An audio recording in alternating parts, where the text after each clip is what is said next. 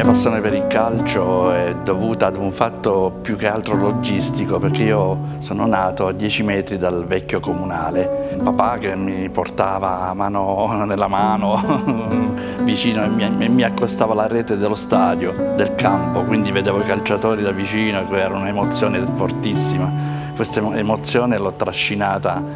eh, negli anni e quindi da, da, curvaiolo diciamo, sono diventato un po' più tranquillo, quindi distinti, mai tribuna, sempre o tenevo curva o distinti. E poi nel corso degli anni dopo la maturità, anche dopo l'essere diventato un po' tra virgolette artista, ho aiutato, ho collaborato anche con, eh, con le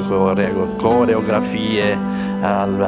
in curva est e per questo ho conosciuto tanti amici. Questa è una mostra che mm, è esistita già, è partita già una quindicina d'anni fa ed era collocata all'interno dello stadio Bonolis, nei corridoi del, degli spogliatoi del Bonolis. Abbiamo deciso insieme di, di, di prendere delle, dei personaggi più o meno storici che, siano, che, che hanno vissuto insomma, la storia della Teramo Calcio. Qualcuno poi negli anni si è aggiunto eh, per cui adesso sono diventate 20-21 opere, molti erroneamente le chiamano gigantografie, ma in realtà sono pittografie, c'è una base fotografica sulla tela, leggerissima, e poi c'è l'intervento pittorico gestuale eh, alla maniera pop, io sono un artista pop, mi ritengo perlomeno un, artista, un pop artista,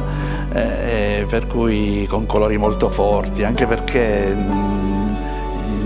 le, le, fotografie eh, stampate sul canvas sono in bianco e nero molto leggero,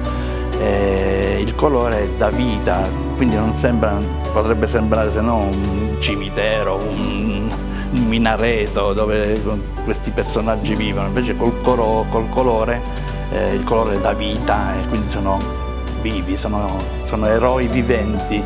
sono mitici e rimangono nella storia immortali.